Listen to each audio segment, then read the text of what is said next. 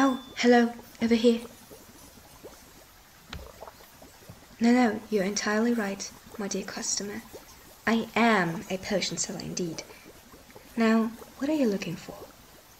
Ingredients for your own brews? Perhaps a dragon tooth potion or a devil's laughter in a bottle? Very popular, by the way. Or maybe it is, if I dare say, a love potion for the person who stole your heart? Pardon my gossiping. Oh, you simply want to take a look at a potion seller shop, I see. Well then, take a look. But I must warn you, it is really dangerous in this little shop of mine. So try not to touch or break any. Oh my. Breathe, Mary, breathe. Okay, what in God's name? No, no, don't touch it and try not to breathe in too much of it, or else you're probably going to faint. Let me, let me clean that real quick. No, don't be sorry. It's fine. Stuff happens. You can breathe now normally. It really is safe now. Really, it's nothing. You only shattered one of the many glasses that are full of sleeping potion that must sit for a bit until I can actually sell it. That's why you shouldn't breathe it in and especially not touch it since it's still a bit dangerous. And, well, that is the tail of a hippogriff. Please don't touch it. Thank you. Oh, uh, you have an idea what you want to buy. Well, then ask right away, and I see what I can do for you, dearest customer. You saw the posters outside. Yes, I uh, I do sell true happiness in bottles, but I'm not quite sure if you really need it. I mean, it is really strong and works in the wrong dosage, basically like a drug. And I'm talking about the really bad stuff if you understand what I mean. Why is it hanging outside then? Well, okay, I want to be honest here. You seem to be a really nice person, and I just don't want you to buy this kind of stuff. The poster is hanging outside because most of the people who live in this area are aware of its effect and the magic I do here. And on top of that, is this my potion, my top seller, so I need more advertisement.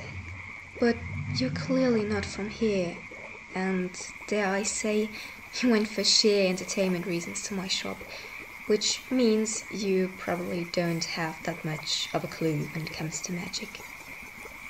Oh, I'm, I'm deeply sorry if I overstepped any boundaries. It's okay.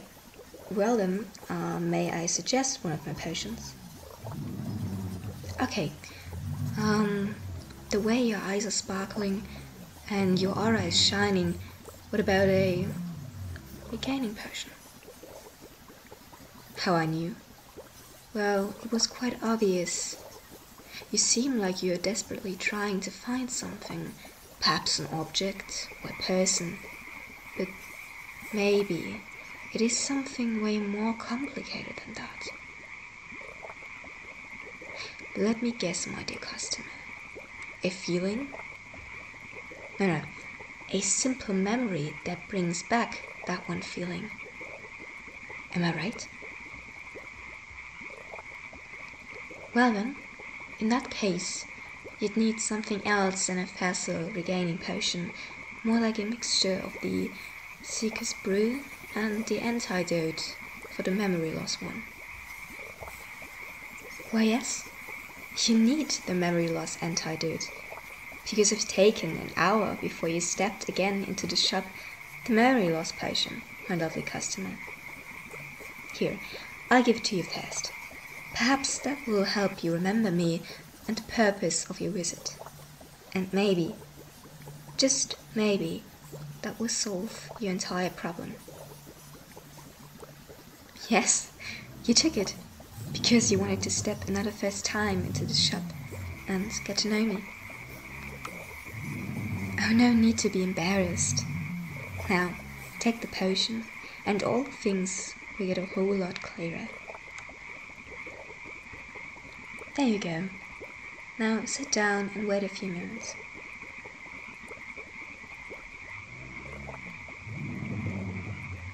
Hello again. And do you remember me now? Yes, my name is Mary, and you are? Exactly. Do you know what happened? Yes? Oh, that's wonderful. I think that was enough trying out, my dear. Would you look at the time, my love? It's already so late. It was indeed quite amusing today. I was still scared that you wouldn't remember me, your wife, after all, but I think the both of us did a great job. I can't believe this was after all your idea. Though I think we should get some rest for now. I mean, you were quite the exhausting customer after all. hey, I wasn't serious. Unless. Okay, I'll stop.